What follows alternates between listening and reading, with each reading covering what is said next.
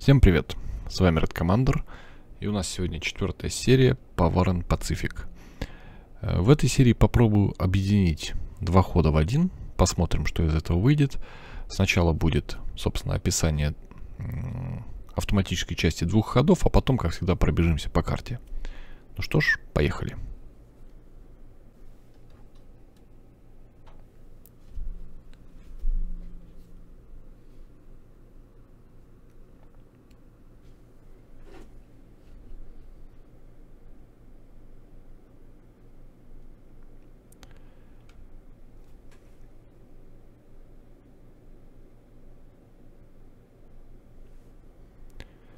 Сейчас будет довольно-таки большое количество воздушных сражений. Нас ждет, по идее, высадка, не высадка, а, а попытка штурма Гонконга. Как мы помним, мы уже э, зашли в локацию, и сейчас, по идее, должно быть сражение. Э, плюс продолжаются бои как в Филиппинах, так и э, на других островах юго-восточного, Юго-Восточной Азии.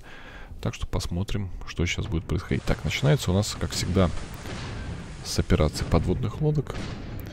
Мы видим, что американская подлодка Сарго пытается подбить наш Амацукадзе, эсминец.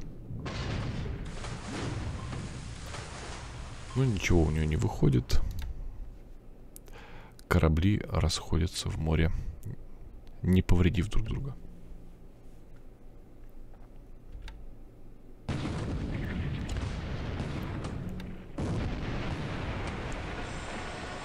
Так, наших два эсминца э, нагнали вражеский торговец, ну, в общем, транспорт.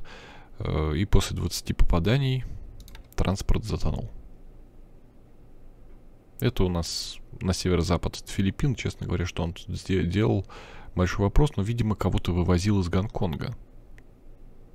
Просто больше здесь ему делать особо нечего.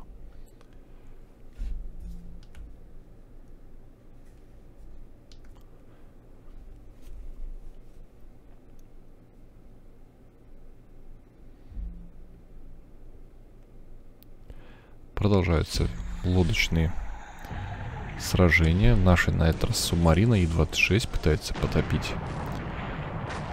Э, похоже, танкер. Получает торпедное попадание он. И, в общем-то, heavy damage, скорее всего, потонет. Причем, замечу, это уже самое побережье, э, западное побережье США, недалеко от Сан-Диего. Так, наша подлодка а, И-166 наносит еще один удар, но промахивается.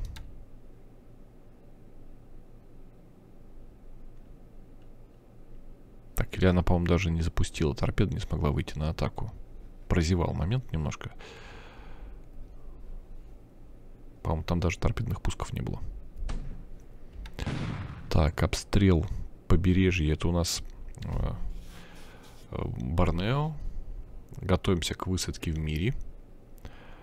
А, некоторые повреждения понесли как наши высаживающиеся войска, так и, а, собственно, обороняющиеся войска.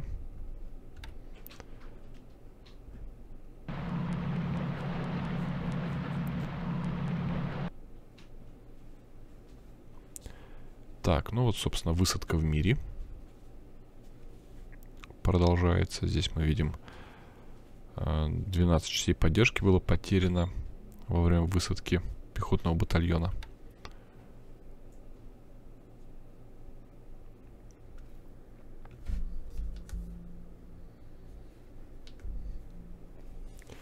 В Ковиенко мы тоже планируем высаживаться. Начинается обстрел береговых укреплений. Так, три береговых, береговых орудия открыли защитный огонь. Ну, в общем-то, никаких серьезных результатов ни мы, ни оппоненты не добились.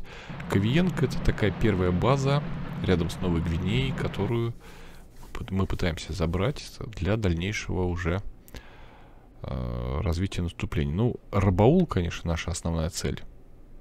Так, вот наши войска высаживаются в Квиенг.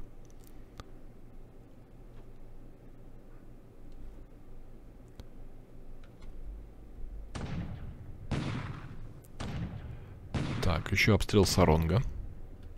Это другой край Новой Гвинеи, западный. Ну, тут всего орудия нам сопротивляется. В общем-то, проблем с высадкой тут быть не должно. Здесь, правда, уже голландские силы, а не австралийские. Но, как бы, в сортах голландцах мы не разбираемся, поэтому не думаю, что для наших доблестных войск будут проблемы в Новой Гвинее. Так, вот у нас в Саронге э, 113-й Task Force э, высаживает подразделение. Собственно, у нас морская пехота выгружается. Некоторое количество э, морпехов при этом, скажем так, пострадало.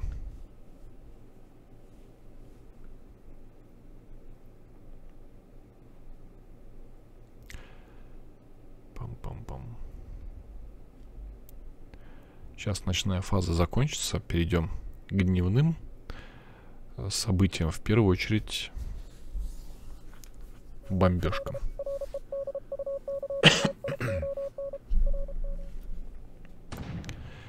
Так, вот в Кавиенко, опять же, при, прибывают, про, продолжают войска прибывать. Еще один обстрел, четыре беговых орудия пытались открыть огонь по нам в ответ. И в Саронге тоже продолжается перестрелка.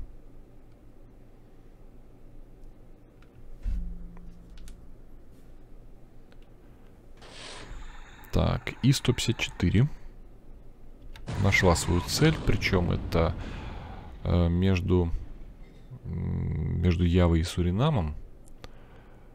Э, очень узкое местечко. В общем-то, здесь довольно-таки эффективно можно распо располагать подводные силы. И у нас здесь довольно-таки широк, ну, большое количество подлодок разброшено, разбросано. И добиваемся торпедного попадания. Один из двух, как всегда. Так, и вот небольшой ответ получаем. И 155 становится жертвой глубинных бомб, которые на нее сбросил эсминец Эвертсон.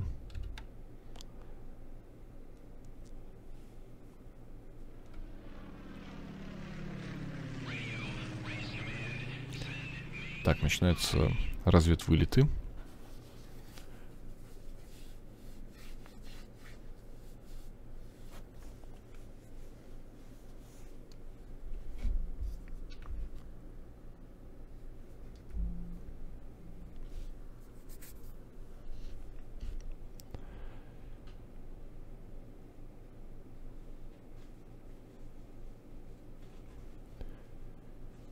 основном здесь у нас всякие джейки и другие поплавочные корабли.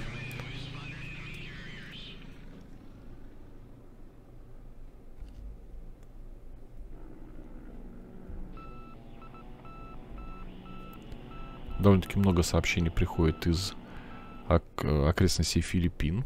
Так что там враг пока держит, ну, пока у него там крупные силы, в общем-то, так или иначе есть какие-то корабли, пытаются снабжать какие-то свои части. И вот продолжаются сражения э, в окрестностях Батаана, где мы пытаемся вынудить оппонента участвовать э, в, мор- э, в сражениях э, истребителей.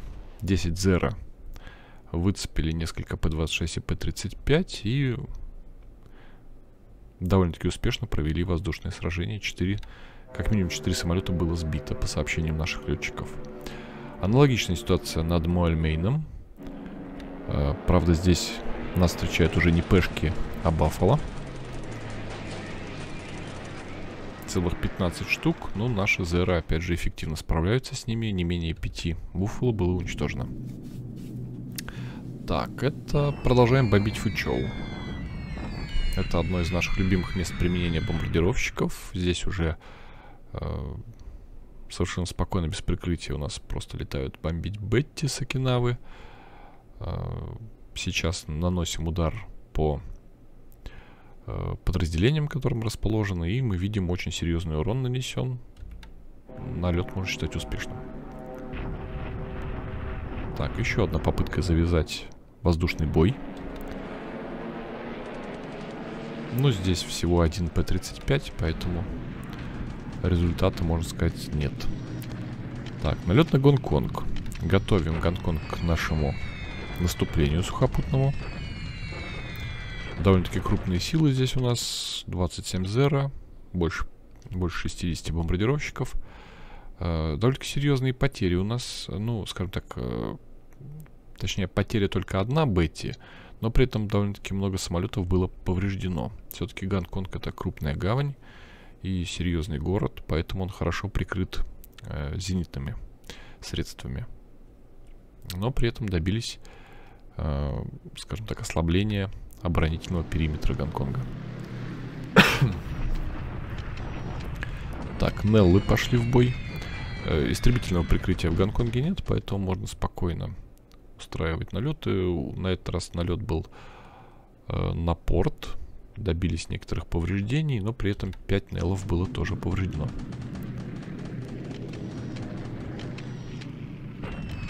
Так, Лили. Продолжают э, бомбить аэродром в Кларкфилде над Батааном. Э, две повредили, но при этом разбита и авиабаза, и взлетная полоса.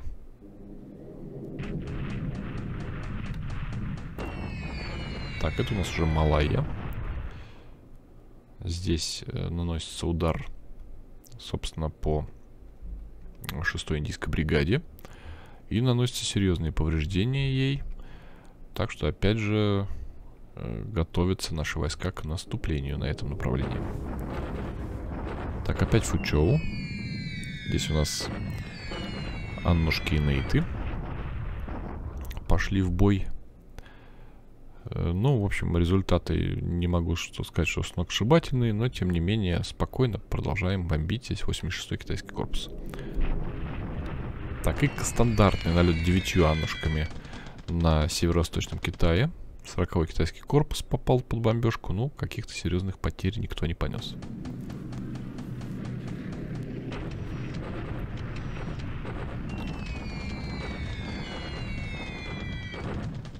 Так, теперь налет на 108-ю э, базу королевских ВВС. Э, довольно-таки неплохие силы используют, ну, такие средние, назовем так, средние силы налет, и некоторые потери враг понес.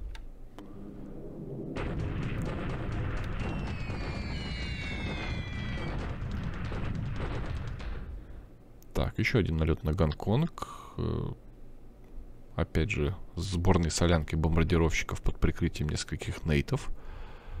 Uh, ну, 7 самолетов нам повредили, сбитых нет, но посмотрите, насколько серьезные потери uh, понес порт. То есть поврежден даже судоремонтный завод, по поврежден порт довольно-таки серьезно, uh, также хранилище топлива и снабжения.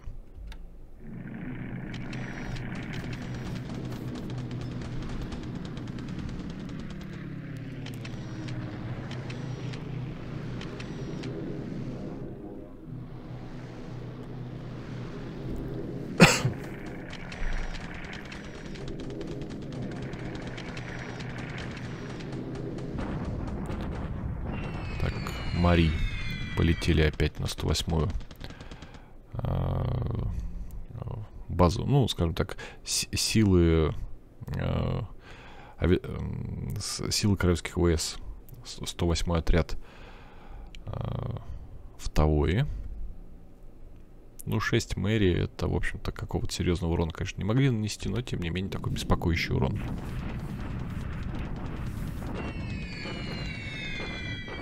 Так, это у нас уже Китай, рядом с Нанчангом. Скажем так, преследует здесь наша авиация а, китайские силы, которые попадаются между нашими двумя плацдармами на востоке Китая. Так, и вот уже встречный налет. Это три Хадсона, вечно беспокоящие нас, пытаются помешать нашей высадке в Саронге.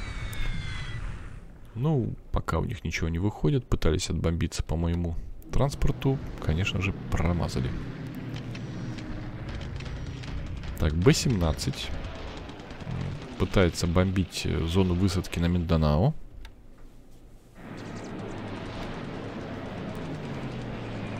Здесь авиационного прикрытия от нас серьезного нет. Несколько клодов. Э, под бомбежку попадает э, эскортный авианосец Тайо. Но повреждений нанести никаких не удалось. Зато 5 крепостей получили повреждения. 5 из 7 очень неплохо. Так, еще один налет крепостей, на этот раз на Формозу. Здесь уже прикрытие у нас посерьезнее. посерьезнее. Здесь и Нейт и Зера присутствуют, и всего 5 крепостей. Одну из крепостей сбивает, сбиваем зениткой. Две еще повреждены, ну каких-то серьезных повреждений нам враг нанести не смог. Так, попытка найти вражеские истребители не увенчалась успехом. И э, так, это у нас в, пролы, в, в Малакском проливе обнаружены корабли союзников. Попытка шестью бетти, бетти нанести им урон, ну, в общем, тоже ни к чему не приводит. Все-таки эсминец, эсминец подбить авиации довольно-таки сложно. Очень маневренная цель.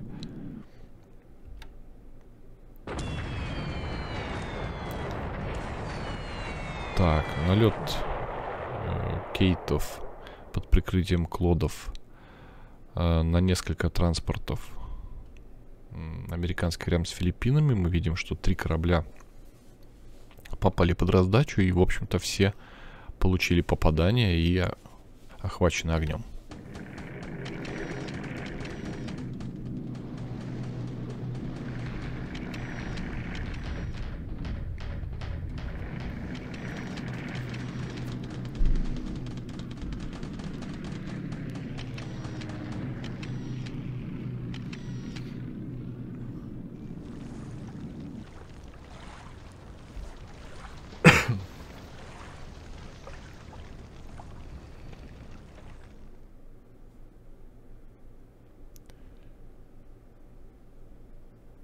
Так, продолжаются у нас разведывательные операции. Ищем вражеский флот. Пошли в дело Мависы. Так, и переходим к нанесению очередных авиационных ударов.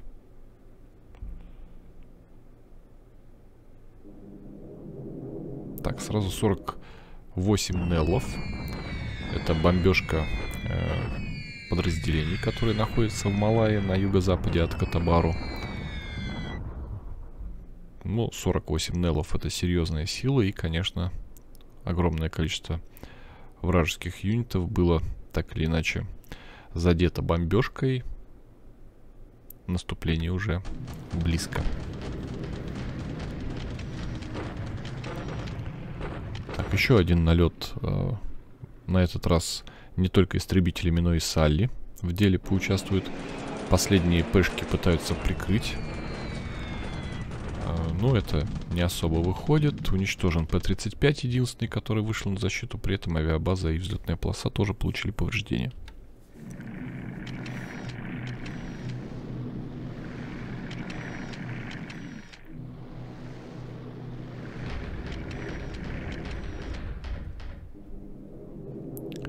еще один налет Хадсонов на высадку в Саронге. И опять они не смогли добиться успеха. Наш бодрый транспорт увернулся от всех бомб.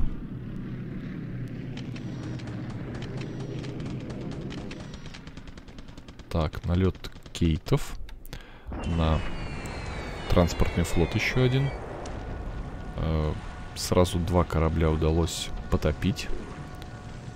Причем один потонул после шести бомбовых попаданий, а второй всего лишь от одного. Так, смотрите-ка, Джейки даже участвуют в налете на вражеский флот. Что там за корабли? Ну, опять транспорт.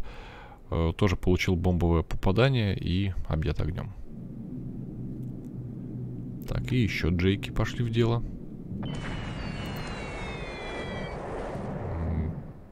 Так, еще один АКЛ, еще один транспорт, три бомбовых попадания и тоже, конечно, обед огнем.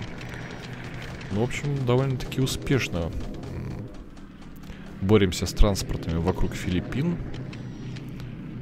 Э, за первые ходы, наверное, это один из самых удачных рейдов по кораблям, которые стоят не в гаванях, не в портах, а в открытом море. Так, несколько Бленхеймов пытаются э, нанести удар по нашим морским силам. Э, Zero обеспечивает прикрытие с воздуха. Правда, их не очень много. Э, пытались потопить наш транспортник, но, в общем, удалось сбить три Бленхейма и два повредить из шести. То есть, фактически мы эту эскадру, эскадрилью вражескую свели на ноль. Так, еще несколько крепостей. Ну, крепости в качестве как бы ударной силы по авиации не самая серьезная сила. Две крепости прилетели, обе повредились. Пытались э, легкий авианосец э, Рюха повредить. Ничего не вышло. Так, наш ответ кейтами. Ну, правда, не по авианосцам, а все же по транспортам, но зато эффективный. Компания вот эта Филиппинос, она у нас, по-моему, уже была в отчетах. Ну, опять, видимо, решили добить. 11 кейтов, 11 бомбовых попаданий. Очень качественный налет.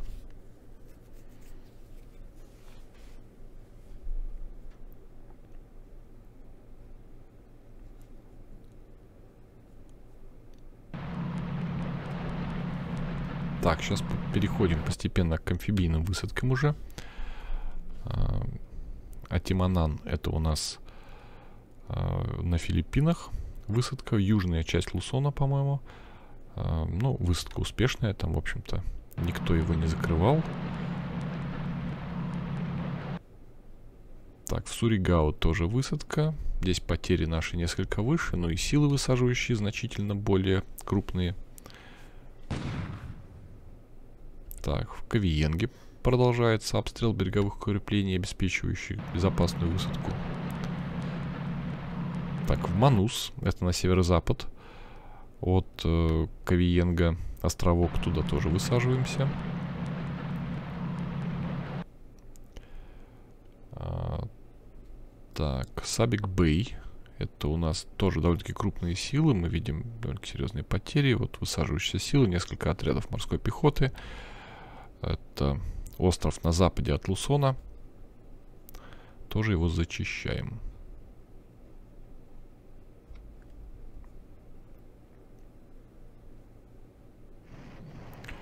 Так, вот, собственно, долгожданный бой за Гонконг. Ну, в общем, не могу сказать, что какие-то сильные тут э, подразделения есть. Мы видим, что несколько батальонов. Канадский батальон, э, Мидл-Эссекский батальон. Также мы видим отдельную бригаду, которая, в общем-то, самая серьезная э, по своим возможностям часть оборонительная Гонконга. Э, с нашей стороны здесь мы видим э, два полка инженерных войск. Также 38-я дивизия и 66-й пехотный полк при большой серьезной поддержке артиллерии. Так, ну общее соотношение сил явно в нашу пользу. То есть у нас тройное преимущество в орудиях, тройное преимущество в численности войск. Есть большое количество бронесредств. И, конечно, нам удается серьезный удар нанести врагу. Э, соотношение сил, правда, недостаточное. Мы немножко снижаем оборонительные возможности врага в Гонконге. Но решающей победы пока не удается достичь. Э, потери приемлемые. То есть условно 500, где-то 500, э, полтысячи человек потеряли, враг потерял э, меньше, но учитывая, что его количество в три раза меньше, а потери у него всего на треть меньше, то это, конечно, в целом соотношение потерь, можно сказать, в нашу пользу, учитывая, что еще э, ослаблено оборонительные возможности. Плюс орудие, одно из важнейших элементов, целых 10 орудий враг потерял, И возможность сопротивляться станет еще меньше. Так, сражение в Вегане. Это у нас Лусон. Но здесь, опять же, соперника нет, поэтому... Поэтому мы справились.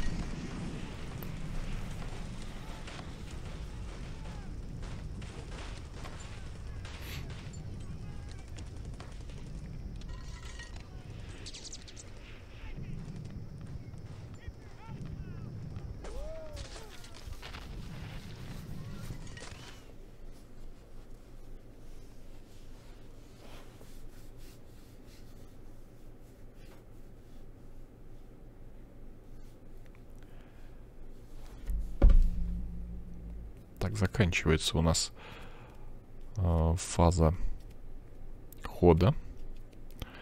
И сразу сейчас перейдем э, к следующему ходу. Тоже покажу, что произошло во время следующего хода, а потом уже перейдем к обсуждению.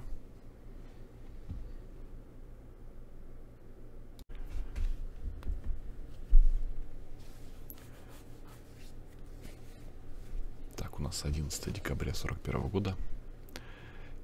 Ночь Тихоокеана, Тихого океана. Но, как и все, в декабре 41 она не очень тихо, в отличие от самого океана.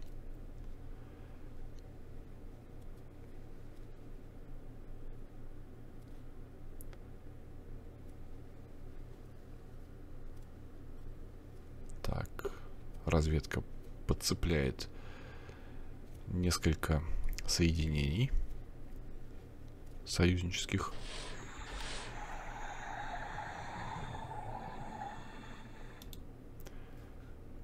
Э, начинается все с атаки нашей подлодки И-122. Но это, как всегда, между э,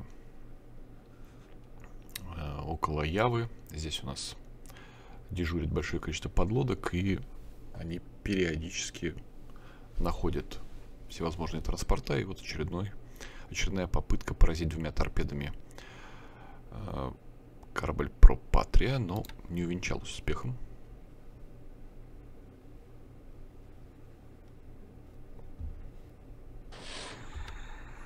Так, теперь И-157. А, тоже транспорт Кататьянди. И тоже безрезультатно. Ну, чуть юго-западнее. Тут, в общем-то, 122 157 они уже примелькались немножко в наших сообщениях. Я думаю, вы уже привыкли к этим подлодкам. Одни из самых э, активных. Им просто с местом повезло. Так, еще два у нас торпедных катера. Кушки. Э, по одному попали наши эсминцы. Второй ушел.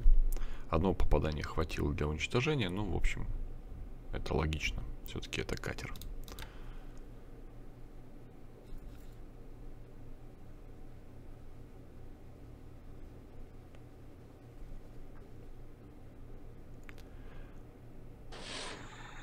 Так, лодка Каши э, К-11 пытается выйти на эсминцы и потом уйти из-под атаки. В общем, попасть не, не получилось по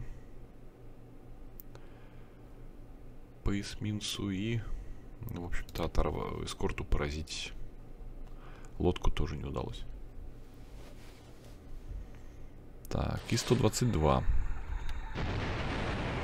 нашла свой торговец. А, и успешно его поразила одной торпедой нанесла серьезные повреждения транспорту Бинтанг ну, это опять же вот между Явой и Суматрой. И 154. Она вышла на эсминец или эсминец на нее. Вышел на СВ атак. То есть это эсминец ее обнаружил, пытался ее э, поразить. И, в общем, удалось скрыться от преследования. Так что все нормально. Так, и И-122 пытается опять на Пропатру вышло. Пропатрию. И на этот раз удачное попадание одной из двух торпед. Ну, в общем, на самом деле, союзникам имеет э, смысл поменять э, транспортные свои артерии, потому что явно здесь некоторые проблемы у них в этом. Между остров... Э, не знаю, как зона между островами в этом проливе, ну, назовем по-простому. Так, начинаются бомбежки ночные. 5 Сонь. А, бомбят Джорджтаун. У нас это западная Малая. А, какого-то результата не достигли. Ну, тут у нас как бы 5 Сонь ночью в Малайи. Понятно, что обнаружить врага довольно-таки сложно. 4 Сони продолжают свои налеты. Но тоже безрезультатно.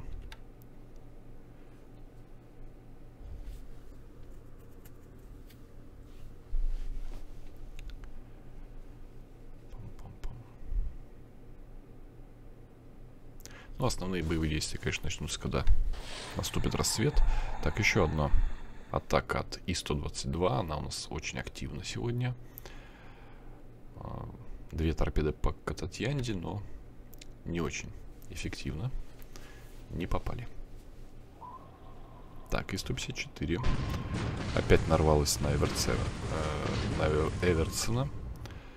То есть он тут явно занимается противолодочной борьбой и ну, безрезультатно пока. Причем это уже западнее Явы. То есть он тут э, довольно-таки широко, видимо, э, на, в, в широком поиске находится вокруг Явы. Так, и 154 поразила транспорт Гонгпенг с двумя торпедами, кстати. Э, так, и при этом даже наземные потери есть, да? То есть транспорт, возможно, перевозил какие-то подразделения еще.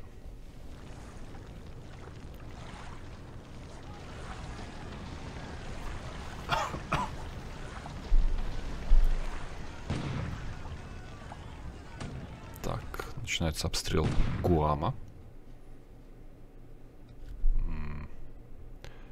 несколько патрульных э, лодок и, собственно, транспорт. Э, два береговых орудия пытались отстреливаться, но это, в общем, такая не очень активная перестрелка.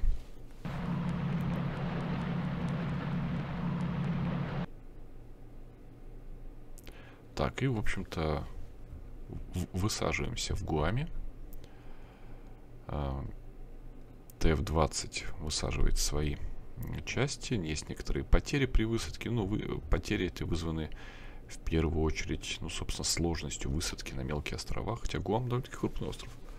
Ну, серьезного как бы сопротивления на Гуаме нам не оказано. Так. А Тимона тоже пытаемся в южном э, в южном Лусоне пытаемся высадиться. Так. Э, амфибийная выставка в Голландии. ну, это имеется в виду один из островов э, в Индонезии. Так, ну тут тоже есть, скажем так, э, сопротивление какого-то серьезного не оказано. Вот на самой границе между Голландской Новой Гвинеей и, собственно, австралийской Новой Гвинеей.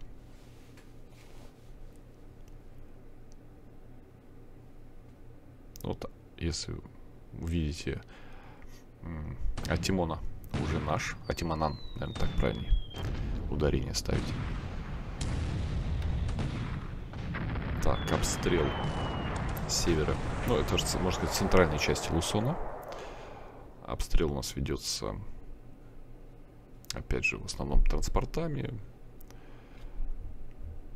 Так, Угу. Здесь уже сопротивление есть. Во-первых, здесь 75 береговых орудий в защите помогают, поэтому, э, да, удалось достичь некоторого результата, э, но при этом и потери понесли довольно-таки серьезные.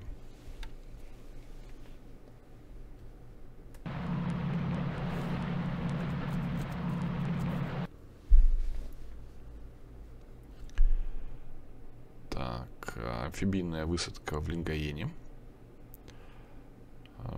Тоже серьезные потери при высадке, потеряли орудие, несколько танков. Но здесь танковый батальон у нас, э, точнее танковый полк, второй танковый полк высаживается. Так что некоторые потери в танках из-за этого присутствуют.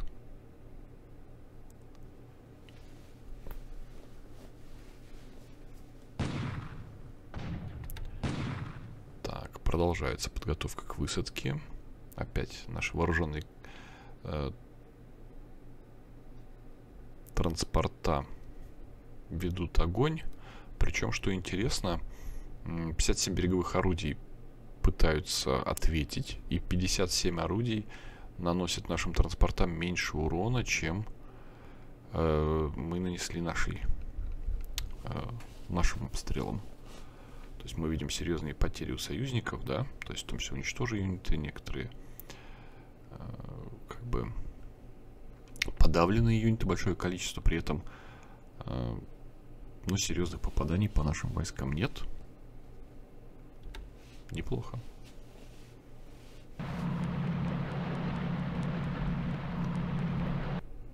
Ну, весь Лусон практически сейчас уже будет захвачен. Так, вот в Лингаене высадка, собственно. Э, ну, она, конечно, сопряжена с серьезными потерями, потому что здесь крупные силы высаживаются. 47-й пехотный полк мы видим. Несет некоторые потери 7-й танковый полк.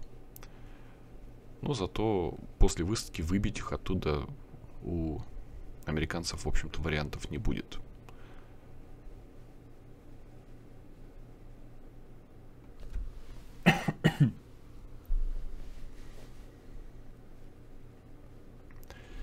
Так, переходим на светлое время суток.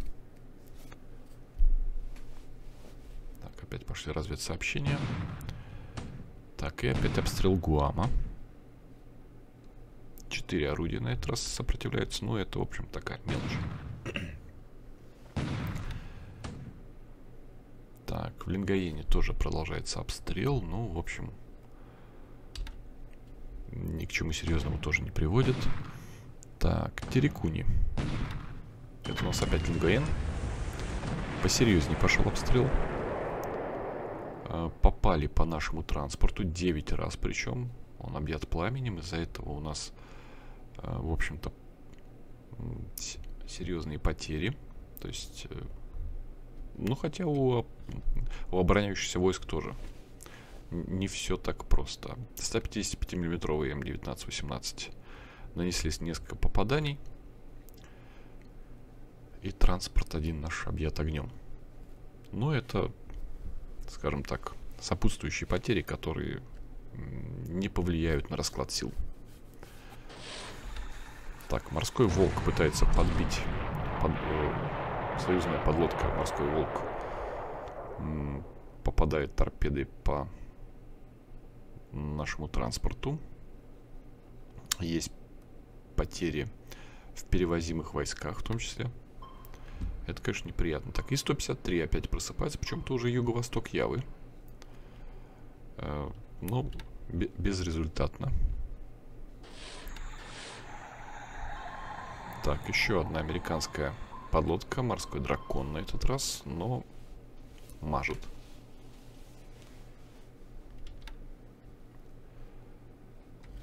Так, наша э, скажем так, э, флотилия во главе с Рюхо э, увидела несколько некоторые голландские, похоже, корабли, да, Холланд и Куэйл. Ну, в общем, от решающего сражения уклонились. Так, а вот со второй попытки вступили в бой и даже поразили Холланд одним попаданием.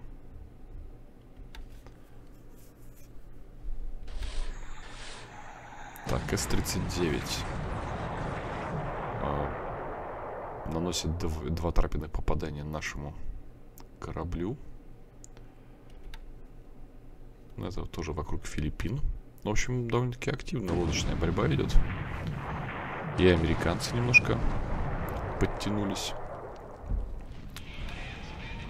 Так, и наши лодки начинают ощутимо бить по транспортам. Так, ну, Холланд все еще в, э, сильно горит, но это никак не влияет на ситуацию.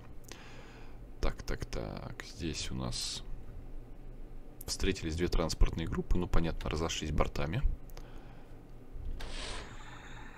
Так, рядом с Мерсингом. Там у нас планируется высадка в Мерсинг.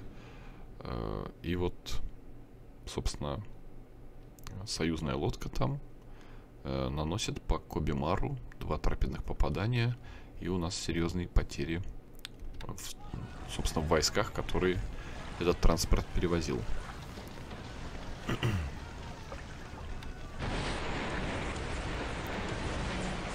Так, С-39 наносит еще один торпедный удар, уже это север Минданао. Четыре торпеды запускает, две попали.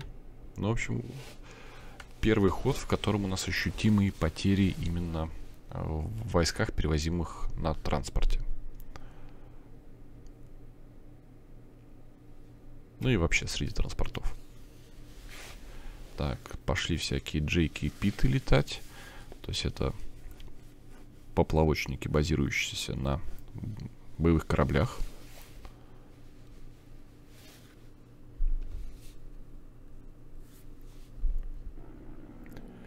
Так, и сейчас пойдут уже бомбовые удары.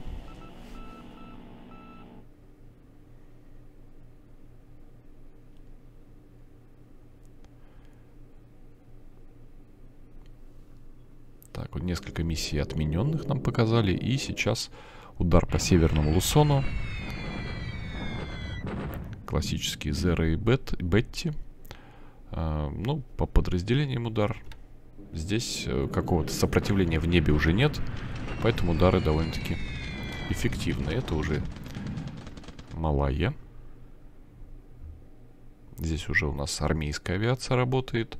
Аннушки с Оскарами. Ну, видимо, тут не так много... Э, либо, в принципе, не так много тут противников. Поэтому потери небольшие. Либо не очень эффективно отбомбились. Так, Лили бьют по Джорджтауну. На этот раз неплохо.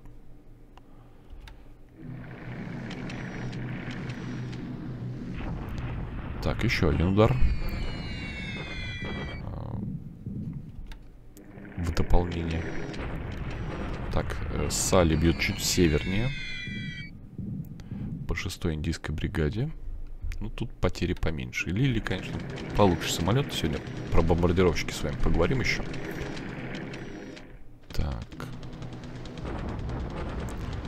Мэри и Оскары. Тоже э, бьют по 108 РАФ рядом с тобой. Ну, без серьезных каких-то повреждений.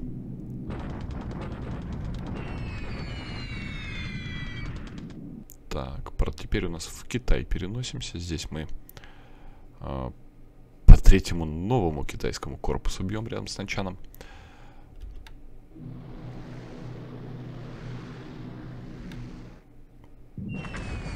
Так, и налет на наши корабли. Это по-моему, первый успешный налет вражеской авиации на, э, на корабли. Мы видим, что 7 сигалов успешно прилетели, отбомбились. Э, кстати, не обязательно, что они именно потопили, потому что я, по-моему, там, там попаданий-то не было. Но, по крайней мере, зафиксировали, что корабль утонул. Так, э, Б-17 прилетели, сбросили бомбы, но непонятно где. Повреждений никаких не несли, сами немножко пострадали. Так, 23 сали. Ну, здесь мы видим, что в Малайи уже какого-то сопротивления истребительного тоже нет. А вот на северо-западе, рядом с Мольмейном, э, Баффало встречает наши Зера. Но опять же, здесь на, на передовых рубежах бомбардировщики мы в первой волне не посылаем. Здесь у нас летят в первую очередь Зера, как раз для того, чтобы связать э, вражескую истребительную авиацию. Так, рядом с Мидуэем наш... Э, э, это, видимо, самолет из Китабутай. Обнаружили транспорт Регулус и смогли его потопить шестью попаданиями бомб. Так. Это у нас уже Бруней. А рядом с ним... А, ага, вот это вот парочка Квейла из Холланд, которые уже... А, мы их уже видели. На этот раз на, ним, на них устраивают налет Клода и Кейт. И, в общем-то, данную вражескую флотилию мы окончательно топим.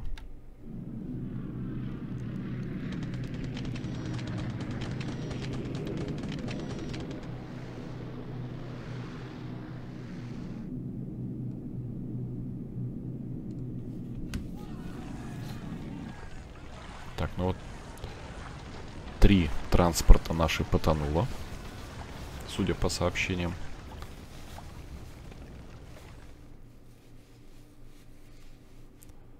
Мы, конечно, потом еще посмотрим результирующую картинку, но про свои корабли обычно всплывающие сообщения не врут.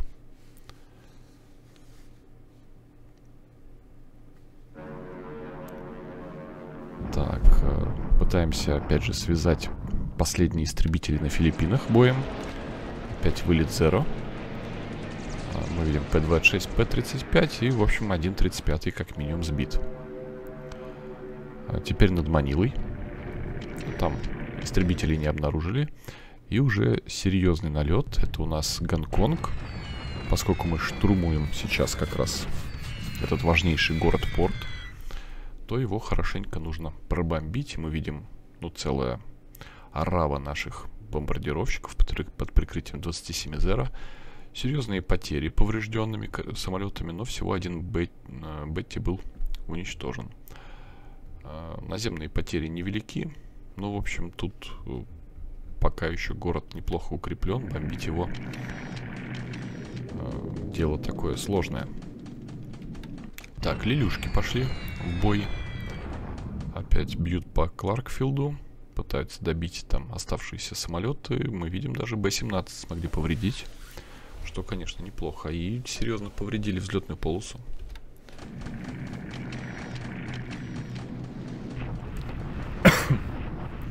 так, Салли продолжает. А, одна Салли была уничтожена зениткой, и на земле удалось уничтожить несколько П-40. И еще бы 17 повреди повредили. Так что, ну, в общем-то, по-хорошему надо эвакуировать уже, наверное, самолеты свои союзникам отсюда, если у них там остались, конечно, целые самолеты. Так, налет на Фучоу. Ну, опять же, бомбежка на этот раз по... А, какой у нас тут 86-й китайский корпус. Ну, стандартный вылет на Фучоу. Я думаю, вы к нему уже привыкли. Так, еще один налет на Гонконг. Теперь армейской авиации. Так. Ну, Одну иду нам сбили. А, а, на это по порту. Наносился удар не по войскам.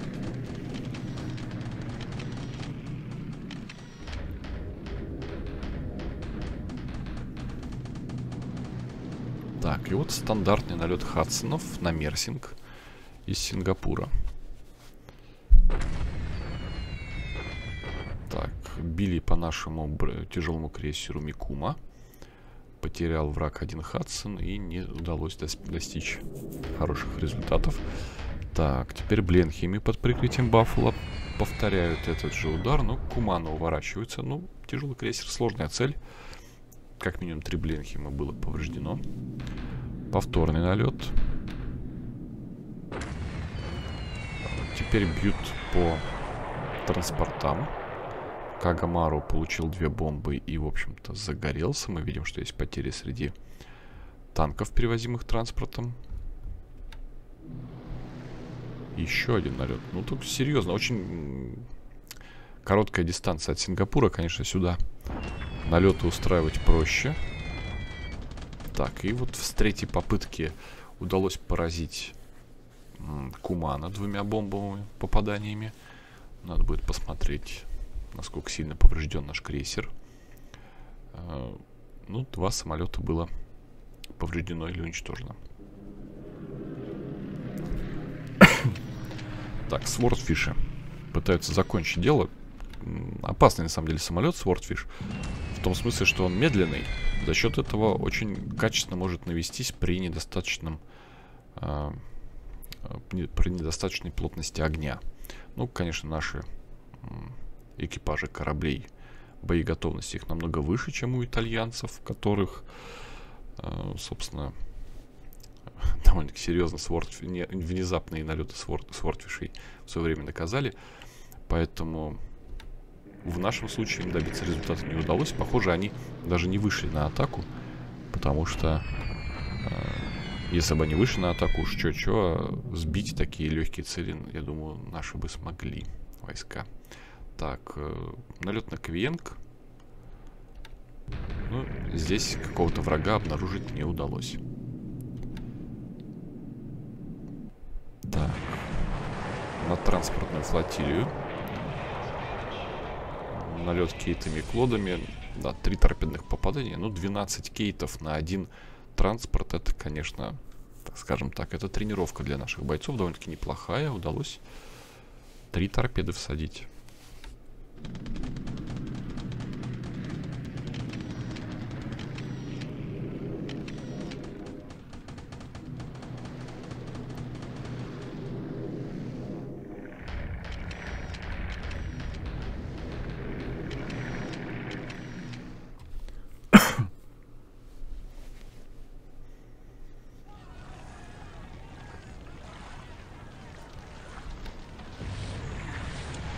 Рядом с Мерсингом продолжаются атаки по нашим транспортам. Кагамару опять получает торпедное попадание. Довольно-таки опасная была инициатива, конечно, высаживаться в Мерсинге. Мы видим, что там минимум 4 налета авиационных было. Подлодки там наносили удары по нашим транспортам. Даже удалось поразить наш тяжелый крейсер, так что надо будет, что называется, оценить, насколько это было рисково и насколько игра стоила свечи по этой высадке. Так, ну, начинается уже в Новой Гвинее высадки мы видим. Но здесь какого-то сопротивления пока не видим. И вот, собственно, Мерсинг. Обстрел береговых укреплений. 33 береговых орудия. Ну, не так уж и много.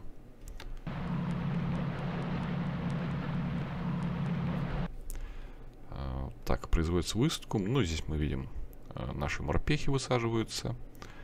Э, второй СНЛФ. Потери приемлемые для столь сложной высадки. Так, и здесь обстрел береговых укреплений. Это у нас уже Лингаен продолжается, эпопея с ним. Так, это у нас там же.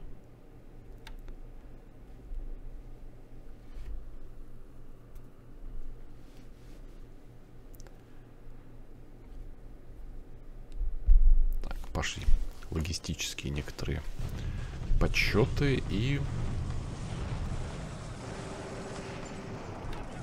наша атака по как раз по третьему новому корпусу тому пресловутому рядом с Нанчаном. Наносим удар. А, так. Ну, с, э, количественно силы очень близки. Мы видим, что по орудиям, по пехоте соотношение плюс-минус равное, но большое преимущество в танках. То есть у нас как минимум один танковый полк здесь. Ну, сейчас посмотрим, что у нас там за силы. А, вообще только, только 39-я дивизия написано штурмует. При этом тут как минимум два китайских корпуса и 32-я группа армий. Так, ну, соотношение сил, несмотря на то, что войск одинаковое количество, конечно, в нашу пользу. Мы уверенно разбиваем здесь врага, теряем э, пару рот войск и очень серьезно э, очень серьезный урон наносим врагу. 21 орудие враг теряет и до 2000 пехоты. И, собственно, Гонконг. Продолжается эпопея с Гонконгом. Понижаем уровень укреплений до одного. Но сама атака пока не успешна. У нас уже более чем тройное преимущество в войсках, почти тройное преимущество в орудиях, большое количество танков. Но, к сожалению, пока пробить немножко не получается.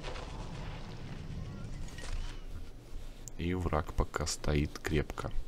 Ну, хотя уже соотношение хорошее, на самом деле. Потери, опять же, у нас штурмовые потери выше в два раза. Но поскольку общее, общее количество войск э, наших намного больше, то вот это 2 к 1 для нам э, это стачивает вражеские силы быстрее, чем, чем наши.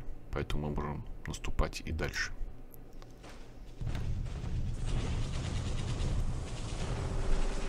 Так, происходит захват э, Гекса рядом с Синьяном.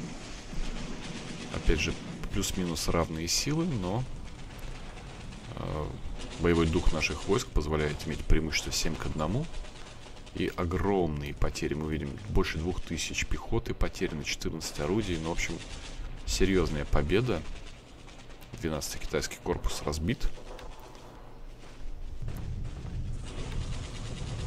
Так, и с севера Минданао высадка успешно, но поскольку там сопротивления фактически нет. Так, Атиманан. Высадка туда. Ну, тоже успешно захватываем, тоже там врага не оказалось. Так, высадка рядом с Брунеем в мире. Так, ну здесь войска есть, собственно. Похоже, какая-то усиленная рота. Она, конечно, не смогла нам сопротивляться. Мы успешно захватываем. А, ну, в общем, да, тут э, чисто на вооружении, э, на защите стояла просто охрана базы. Наш батальон уверенно захватил. Так, Кавиенг, высадка. Тоже, ну, соотношение сил, видите, совсем небольшая разница в войсках, но...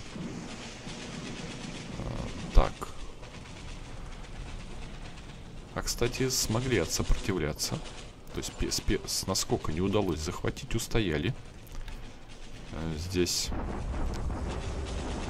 оппоненты наши. Но долго они не продержатся, конечно. Там 100 человек. Долго он воевать не, они воевать не смогут. Так, Ману с тем временем мы захватываем. Ну, тут опять же нет никого из войск врага. Так, захватываем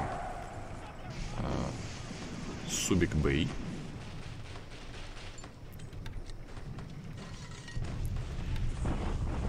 Так, и, собственно, бой за Лингаен, который мы долго упорно бомбили сегодня. Э, высаживающие силы у нас пока небольшие. Мы видим, что там довольно-таки крупные силы врага. Много орудий, много танков. И, конечно, э, ну, это не выск, это обстрел сейчас скажем так, артподготовка. Так, союзники при этом потеряли один танк. У нас пока все нормально. Тут танковый полк, кстати, присутствует. Так, это, кстати, союзники атаковали, это не мы. Это наш танковый полк, все правильно, да. Седьмой и второй. Они тут как раз высаживались недавно. А, пытаются пробомбить нашу зону высадки.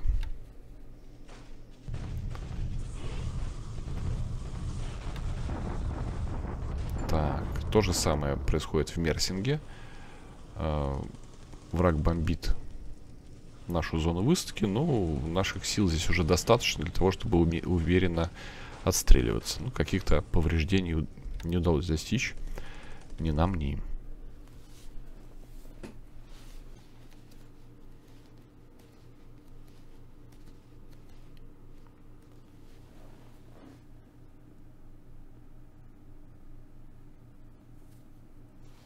Ну, финальные подсчеты идут.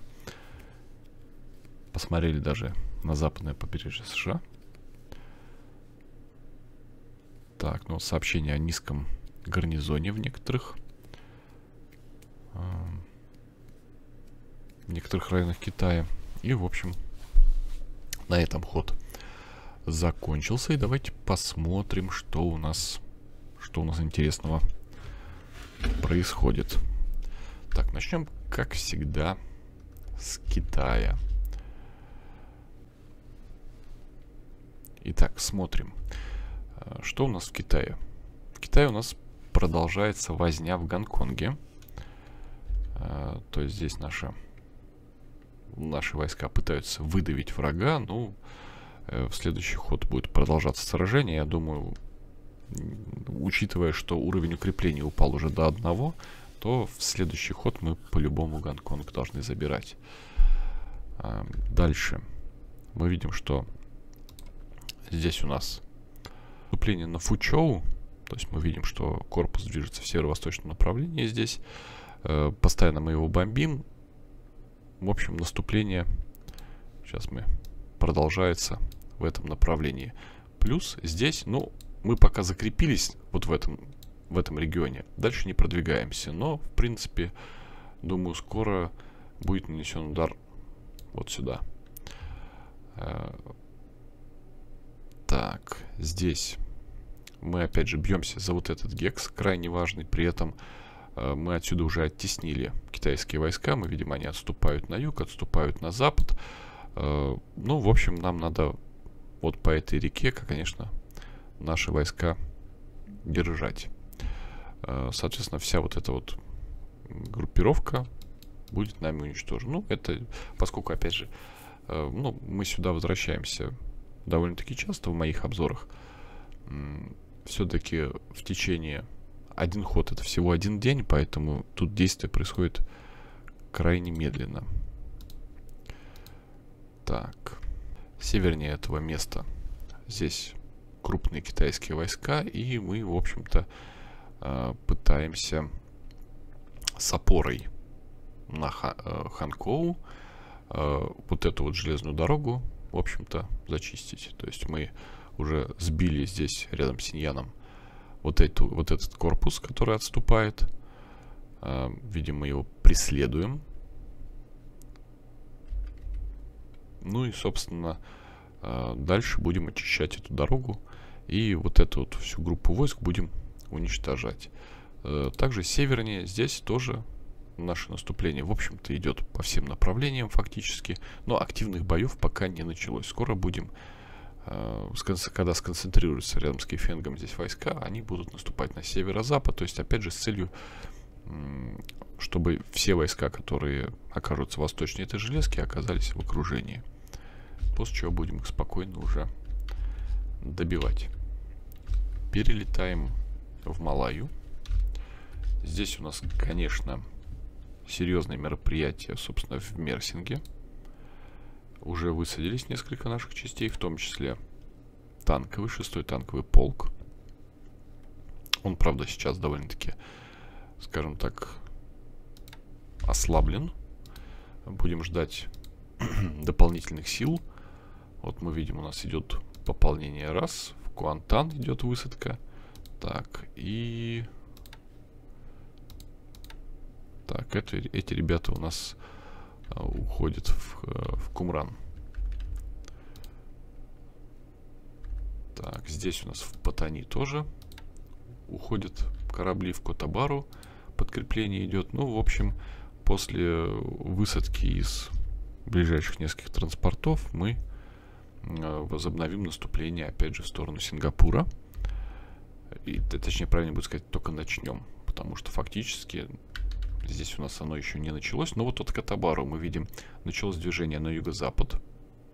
То есть наши здесь войска продвигаются, но им еще довольно-таки далеко идти до первых серьезных оппонентов. Э, в Куантане мы видим, есть враги, но э, ну, 800 человек, 28 орудий, 44 танка. Ну, в общем, вот эти ребята, я думаю, с ними справятся. Э, ну и крупные силы здесь у нас сконцентрированы. Опять же, пошло движение сюда, наступление. Здесь у нас два танковых полка. Уже вовсю бегут на марше. А, пройдено уже 33 мили из 46, так что уже в ближайшее время они а, зайдут в этот гекс. Но опять же, войск здесь похоже нету, и дальше сразу надо будет двигаться на юго-восток и юго-запад, то есть уже к Джорджтауну, э, ну вот по этому побережью всех, всех собирать, все войска, которые здесь могут найтись. Э, так, севернее. Начинается, опять же, движение в сторону Маульмейна. Это движение будет очень долгим, то есть, понятно, здесь, во-первых, Виктория Пойнт, здесь сюда прибыла наша пехотная часть, наш пехотный батальон, он, э, наверное, попробует захватить этот гекс, и, в общем-то, надо вот эту дорогу полностью э, расчистить. Э, плюс, так, здесь у нас ничего нет. Э, забираем вот Миргуй, дальше Тавой. Э, ну, это процесс не очень быстрый. Почему? Тут есть э, горная гряда, и вот единственная дорога, которая в сторону Мальмейна идет. Поэтому, по большому счету, вот, вот эти гексы занимать, ну, довольно-таки сложно. Э, здесь у нас вот есть юниты, они движутся в юго-западном, э, в северо-западном направлении, но тут процесс этот будет, э, ну, занимать месяцы. К Мульмейну мы, конечно, еще придем, но это будет очень не скоро.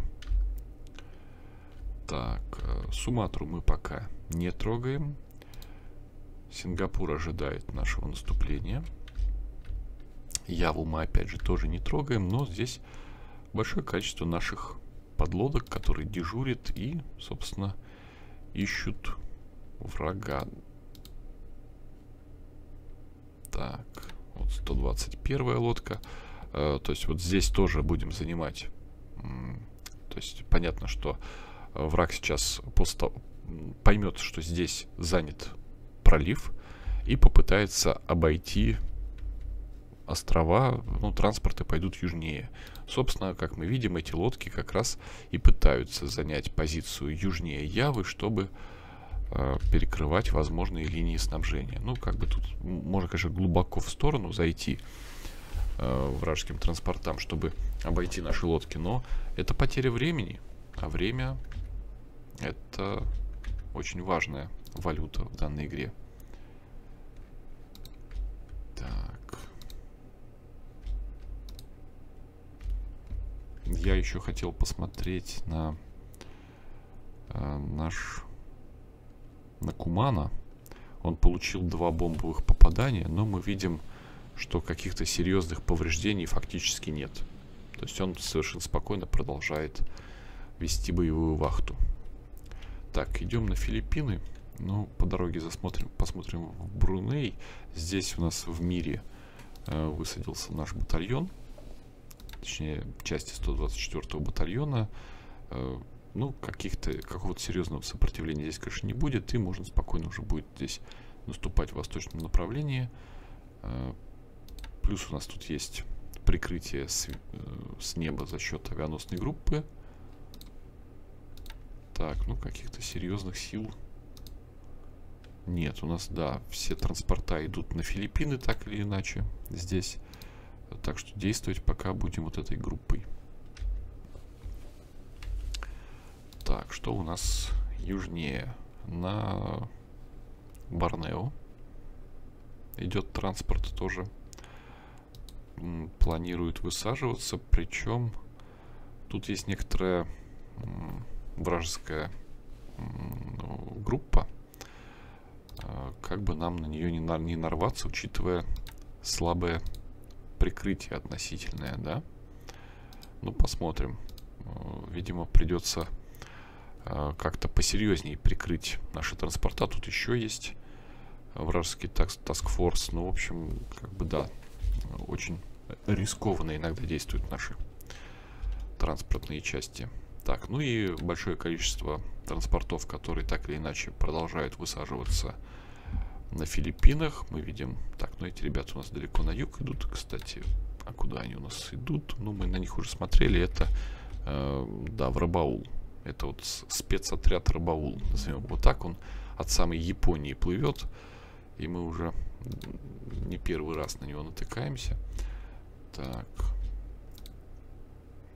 Вот в Легаспи подходит уже в следующий ход. Должна быть высадка. А, так. И здесь еще новая партия транспортов. Также, опять же, на Кучинг.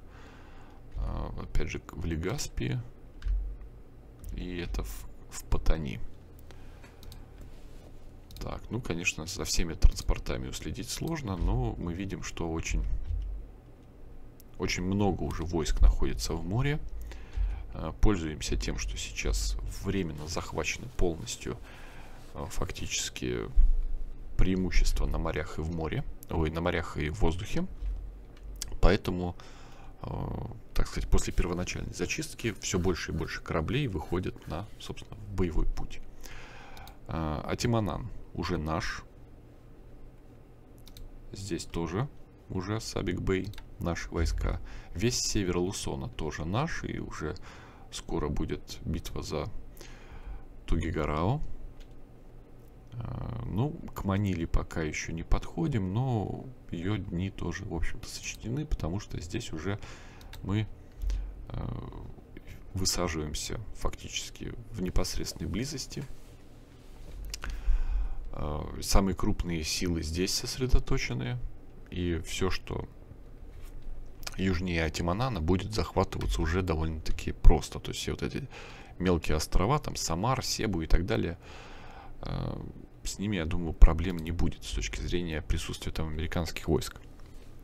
На Минданау еще могут быть крупные силы врага, ну, относительно того количества войск, которые мы туда везем, все равно это будет не проблема.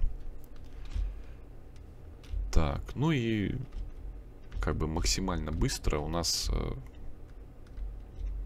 задача подойти к, к подступам к, э, уже к Австралии, то есть э, воздействовать на Гвинею. Тут много что захватывать, и максимально быстро нужно получить здесь хорошую базу.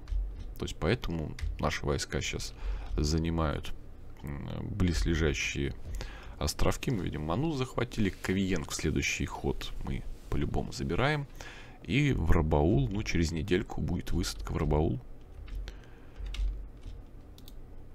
Плюс здесь ну, огромное количество островов, огромное количество подлодок. Многие из этих подлодок идут так или иначе из Перл-Харбора, занимают сейчас позиции в южной части Тихого океана, потому что э, ну, враг пытается увести свои транспортные э, транспортную логистику всю на юг, потому что здесь у него большое количество баз, и наши подлодки вот таким вот серьезным, не знаю, даже флотилии э, идут на юг. Мы видим, что, ну, кто-то уже занял здесь позиции, но большинство идет на юг.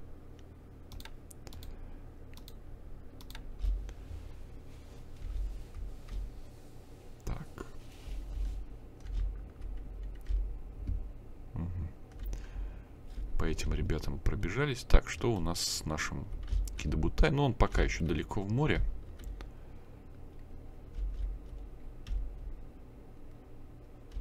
Так, рядом с Гавайями и Мидуем осталось буквально парочка подлодок, которые ни на что повлиять не смогут. И вот наш Кидабутай уже подходит к Вейку и, скорее всего, будет помогать забирать этот важнейший для нас остров. Э, по крайней мере, вряд ли американцы смогут нам помешать это сделать. Так, здесь у нас мы видим стоит транспорт на готове. В принципе, как только Кидабутай, я думаю, подойдет сюда, этот транспорт выдвинется на захват острова. Так, переходим к нашим статистическим вкладкам. А, посмотрим, что у нас по потерям в самолетах. Сегодня мы потеряли 4 Зера, 4 Буффало. Ну, Зера мы видим все операционные потери, Баффало 3 было сбито а, в воздушных боях. А, также 3 Лили потеряли, но опять же операционные две иды от зениток, два бетти от зениток и два П-40 на земле во время бомбежки в Филиппинах. А, общее количество потерь, ну, за 50 здесь только Баффало, 42 из них в воздушных боях, 42 Зера, тоже довольно-таки много, за 40 перевалило. И за 10 у нас перевалили Салли, из которых большая часть потерь, кстати, 7 в воздушных боях. Операционные потери в основном у Buffalo Zero P40, потери на земле, ну, 10 Каталин, подбитые на земле, это, конечно, хорошо, но давно их не удается уже сбить ни одной. Это, конечно, грустно. Так, идем дальше. Смотрим на наших топ-пилотов. Наша любимая закладка, да, и здесь у нас уже 4 пилота армейской флотской авиации. Это у нас товарищ Кадзуми, Шиашима, Ацуки и Сасаи. Все с тремя подбитыми. В общем, э, серьезная намечается борьба, кто получит первого аса. Пишите в комментариях, за кого вы болеете из этих ребят. Э, или, может быть, кто-то из их преследователей сможет вырваться на первое место. Лично мне всегда интересно следить за такими вещами. Так, ну, армейская авиация по-прежнему только два подбитых, поэтому там смотреть не на что. А, потопленные корабли. Давайте посмотрим свежие новости по потопленным кораблям. А, ну, так, большое количество транспортов из серьезного. Ну вот, Холланд в 23 очка оценивается US Navy. Это, кстати, не голландский, все-таки это американский корабль, хотя и называется Голландия. А, зато вот про Патрия, которую подлодки наши подцепили, это как раз голландцы уже. Подлодка С-38, потоплена американская. А, ну, в общем, в основном ничего серьезного тут мы не видим. Ну, кстати, наши потери в транспортах пошли. Это, конечно, не так приятно. Так, э, переходим к, обсу к обсуждению э, военно-воздушных сил Японии. Э, сегодня на очереди у нас бомбардировщики. Начнем мы, собственно, с рассмотрения нашего производства, что у нас сейчас есть, на чем мы летаем, и потом уже пробежимся непосредственно по э, типам бомбардировщиков.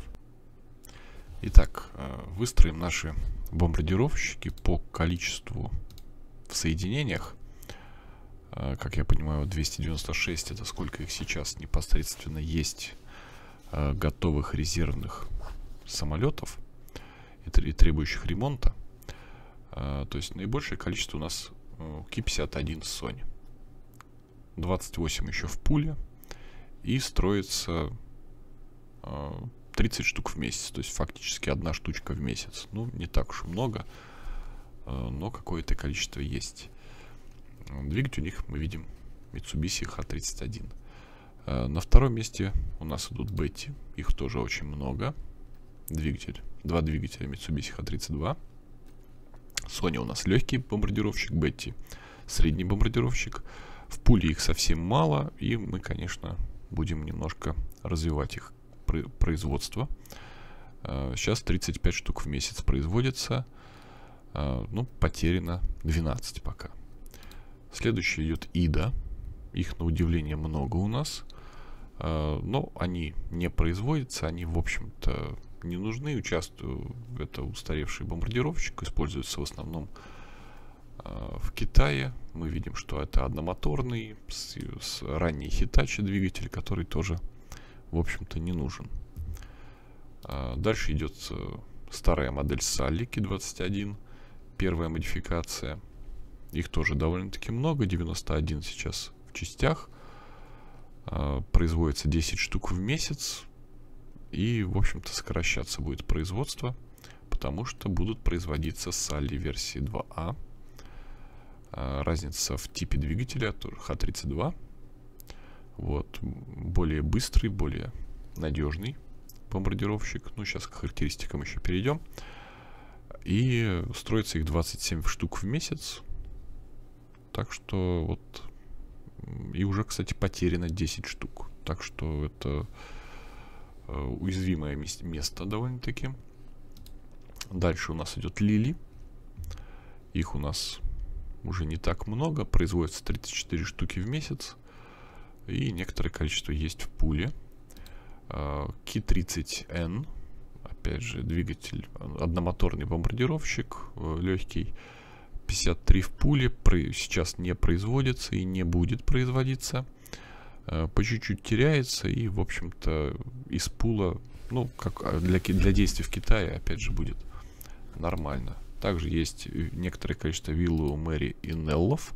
Неллов, кстати, 131 в пуле, 22 производится, но довольно-таки мало в войсках. Теперь перейдем, посмотрим, собственно, к характеристикам сравнимых. Итак, все рассмотренные нами бомбардировщики, э, они, в общем-то, делятся на две группы. Есть средние бомбардировщики двухмоторные, есть одномоторные легкие бомбардировщики. Четыре легких и три средних. Поэтому сравнивать их лучше, наверное, казалось бы, с одной стороны, легкие с легкими, средние с средними, на самом деле нет. Потому что все легкие бомбардировщики фактически э, не боеспособны. Давайте посмотрим. По скорости у нас впереди исключительно медиум бомбардировщики, легкие бомбардировщики одномоторные не котируются.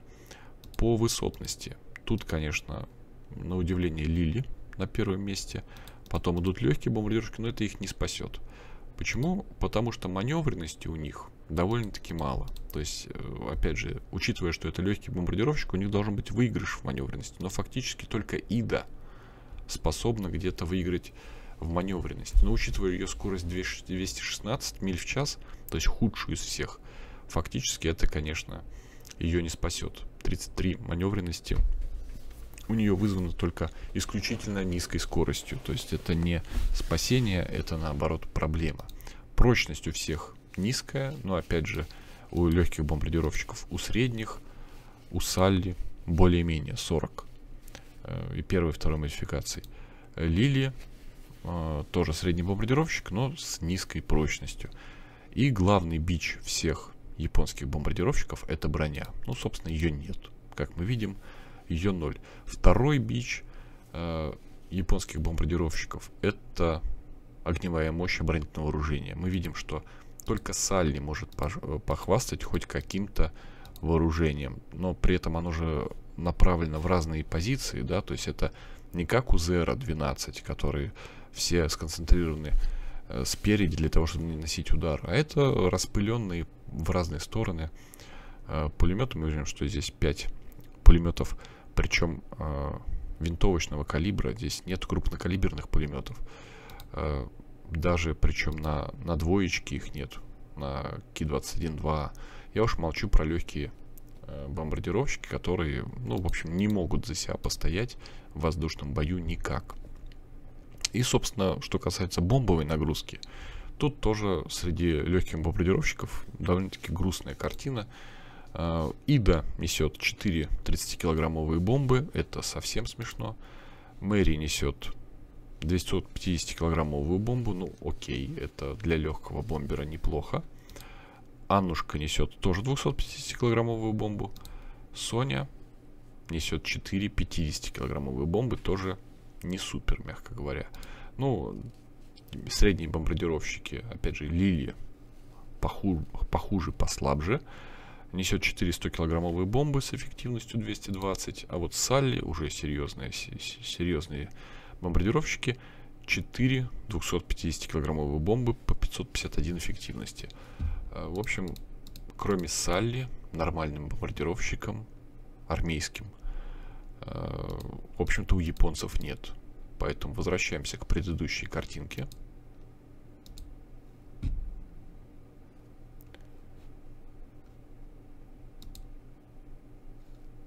Вот наши Салли.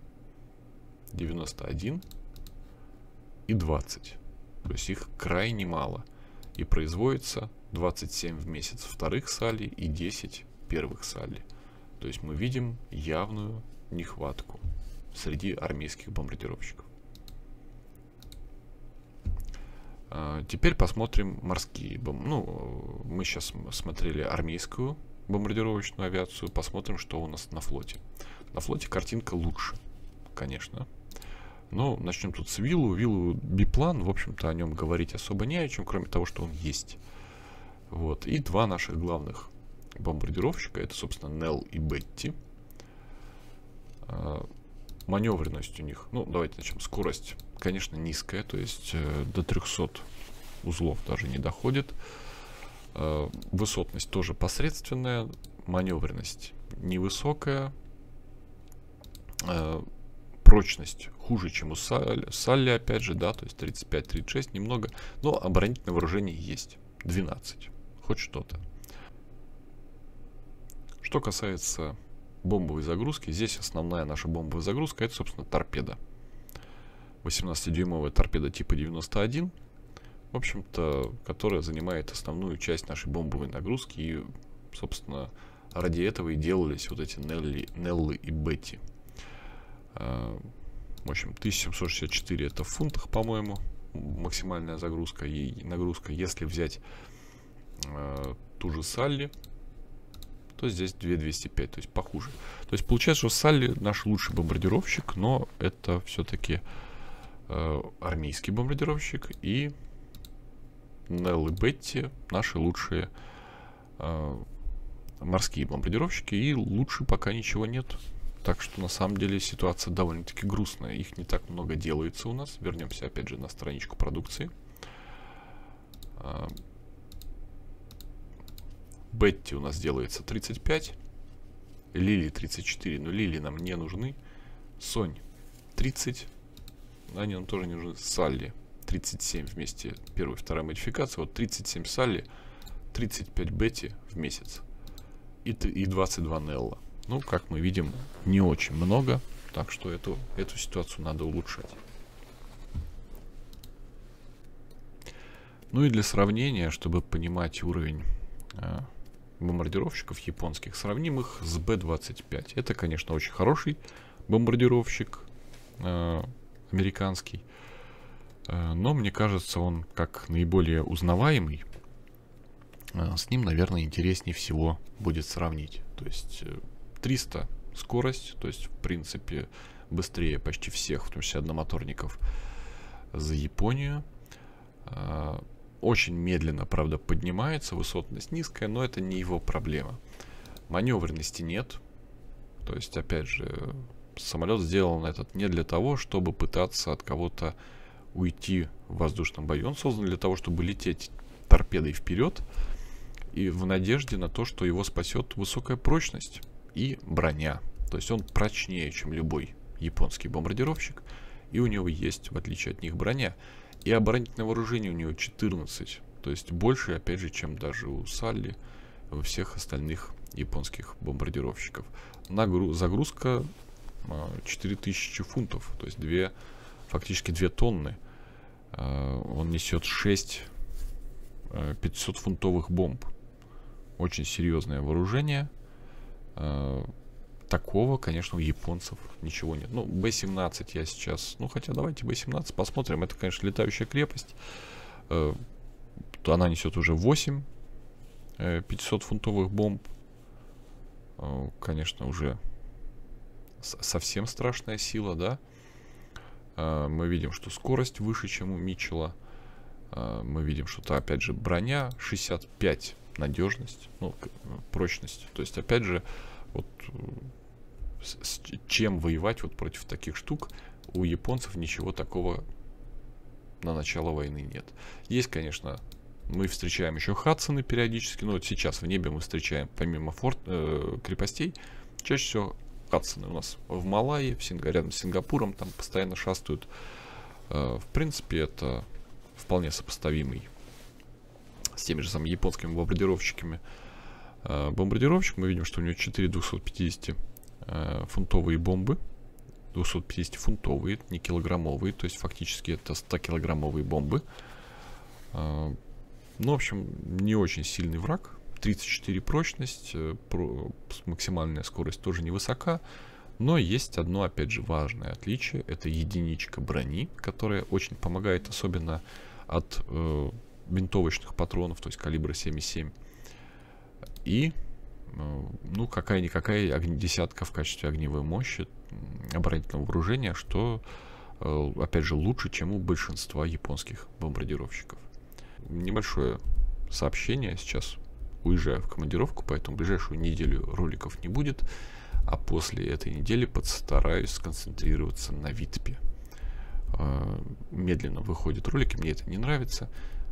Может быть, попробую, есть такая идея, попробовать э, э, выложить ролики прямо на стриме. То есть я запущу стрим и будем с вами постепенно смотреть ходы, которые проходили с комментариями, с ответами на вопросы, с какими-то, может быть, с интерактивчиком. Напишите, пожалуйста, в комментариях, кто досмотрел до этого момента, э, интересна вам такая или, идея или нет. То есть э, э, про, прохождение данной кампании на стриме. То есть, ну, не прохождение, а отчеты, видеоотчеты на стриме.